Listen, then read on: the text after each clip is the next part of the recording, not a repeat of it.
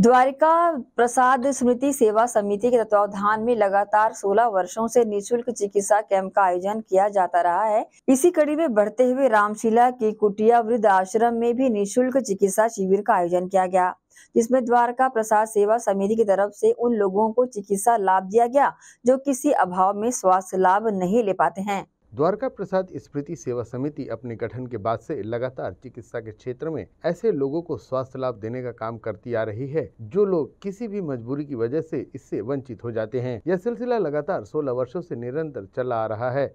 इसकी अध्यक्षा डॉक्टर मंजू तिवारी अपनी टीम के साथ विशेष तौर पर स्लम एरिया और जरूरतमंद वृद्ध जनों को स्वास्थ्य लाभ देने के प्रति सदैव तत्पर रहती हैं। इस वर्ष रामशीला की कुटिया वृद्धाश्रम में रहने वाले वृद्ध जनों ने निशुल्क स्वास्थ्य लाभ लिया और आयोजकों को अपने हृदय से कोटि कोटि धन्यवाद और आशीर्वाद भी दिया। आयोजकों ने इस सिलसिले को निरंतर जारी रखने की बातें कही है।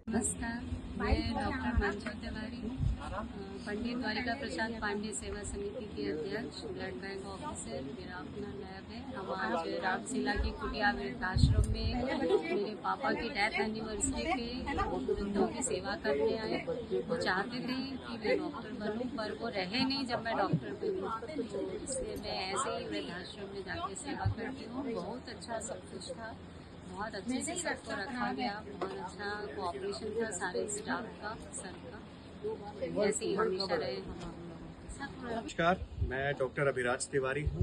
मैं कान नाक गला विशेषज्ञ हूँ सुबेला जी रोड स्थित आर के टी अस्पताल में कार्यरत हूँ। और आज हम यहाँ उपस्थित हुए हैं रामशिला जी की कुटिया वृद्धाश्रम में, पंडित द्वारका प्रसाद स्मृति सेवा समिति द्वारा ऑर्गेनाइज किया गया एक हेल्थ कैंप ऑर्गेनाइज हुआ है 9 जुलाई रविवार को। हमारा एक ही मोटिव रहता है कि स्वास्थ्य को हम जितना, जहाँ से अगर मरीज़ हमारे पास नहीं आ पा रहे हैं तो हम कोशिश करते हैं कि हम उनके पास जाके स्वास्थ्य उनका चेक करें, देखें कि वो स्वस्थ है, नहीं है, क्योंकि हमारा एक ही मोटिव रहता है, यूनिवर्सल हेल्थ कवरेज। हम चाहते हैं देश में सभी स्वस्थ रहे। हम नहीं चाहते कि सिर्फ़ हमारे पास जो आ रहे हैं वही स्वस्थ रहे।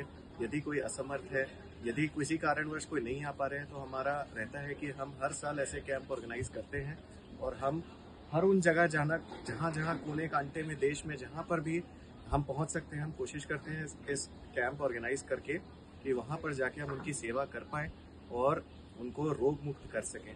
तो आज का हमारा ये कैंप हमने यहाँ ऑर्गेनाइज किया हुआ है और काफ़ी वृद्ध लोगों को हमने यहाँ इलाज किया है।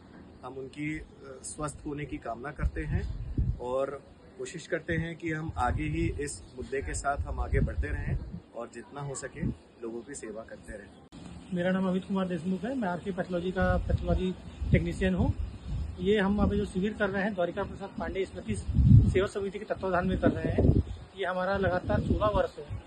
आज जो हम सेवा दे रहे हैं, अब रामशिला की कुटिया है। जिस जगह हम आए हैं, यहाँ पे करीब चालीस वृद्ध जन हैं, जिनके हमने खून जाँच, शुगर, हीमोग्लोबिन, दंत रोग विशेषज्ञ, स्त्री रोग विशेषज्ञ, कान, नाक, गला विशेषज्ञ और पेट के रोग के विशेषज्ञों ने, डॉक्टरों ने अपनी सेवाएँ दी हैं और काफ़ी अच्छा पे हमें लगा यहाँ पे आके और हम चाहेंगे कि हर साल कम से कम एक बार आके यहाँ पर सेवाएँ दें।